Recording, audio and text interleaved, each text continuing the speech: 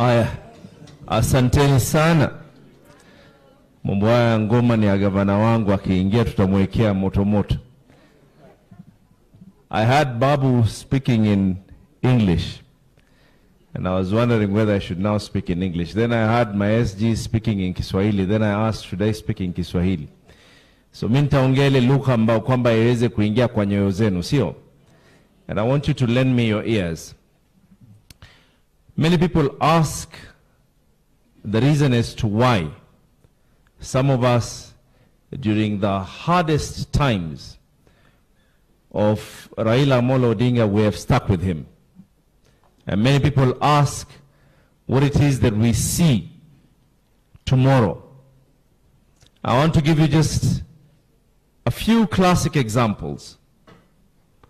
When this country was being liberated for democratic space, tell those that say that Raila Amolo Odinga, his age does not allow him, tell them and remind them that he spent his youth in detention so that you can be able to utter such words without any fear or intimidation. Tell them and remind them.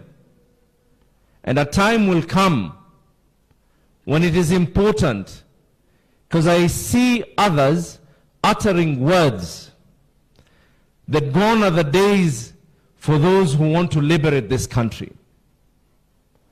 Remind them the atrocities that were being done. He stood up right now and was telling us that he had to go into detention in, in uh, exile in Norway. This was a person who had been offered a lot. A lot was offered to him.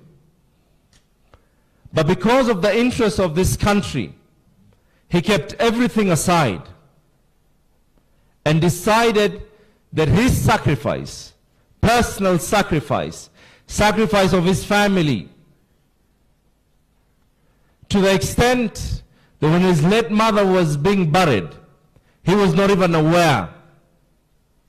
He was in the precincts of Shimo la Tewa. This is the story that we need, to remind people.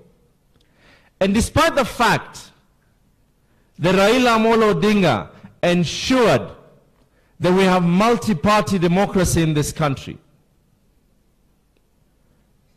he did not stop there. He said this country needs true constitutional overhaul. And look at the ones who are benefiting, the ones that are making mockery right now as we are speaking. Katika wale ambao wameweza kufaidi na jasho ya Raila Amolo Odinga, machozi ya Raila Amolo Odinga, afya ya Raila Amolo Odinga, damu ya Raila Amolo Odinga, ndio wale wale ambao kwa sasa hivi are the ones enjoying those benefits.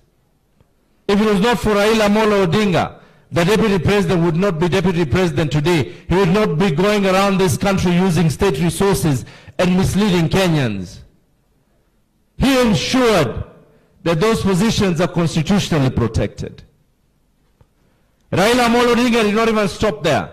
For those making a mockery that sijui BBI ilisimamishwa, rege ilisimamishwa na mahakama.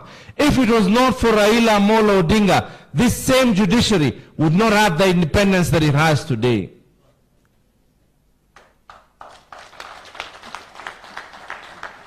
Don't ever, ever, ever forget where this country was. Never ever let anyone, Waswahili tunasema usiache mbachao kwa msala upitao. Let us not forget the things that Raila Amolo Odinga was able to start. Free primary education. We're all seeing it.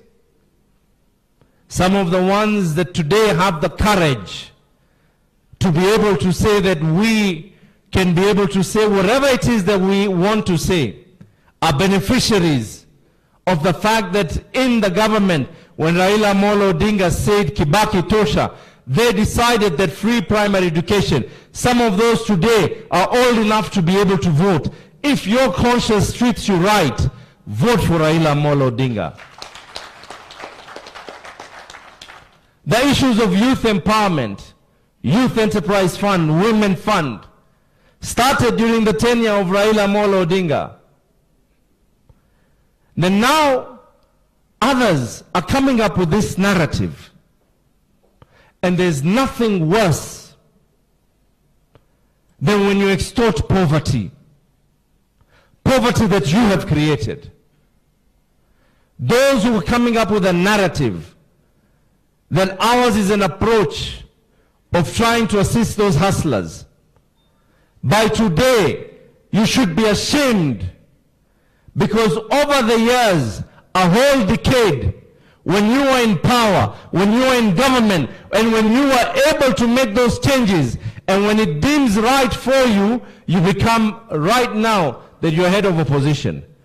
And when it deems right for you, you say that you are the one who came up with those particular solutions. Our job is nothing else.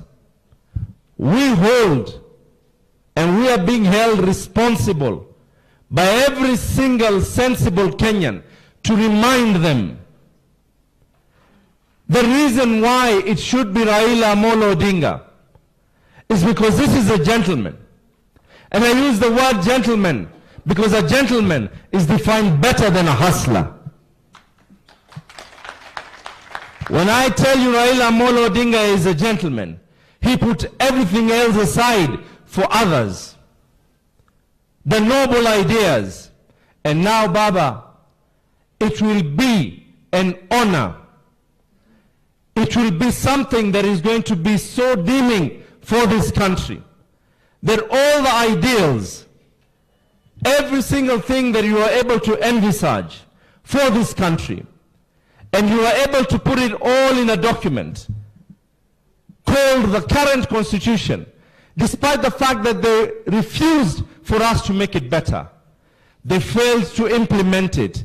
I have faith, and so do the many others out there who have faith, that Raila Amolo Odinga will be the one to be able to come up with the true liberation that this country needs right now. You have proven that you came up with democratic liberation. Now we need an economic liberation for this country. And no other better person than the one whose history has been able to judge him, that he has kept everything else aside and his own personal interests aside for the interests of this country. And that is Raila Amolo Odinga. Asanteni sana na mbarikiwe.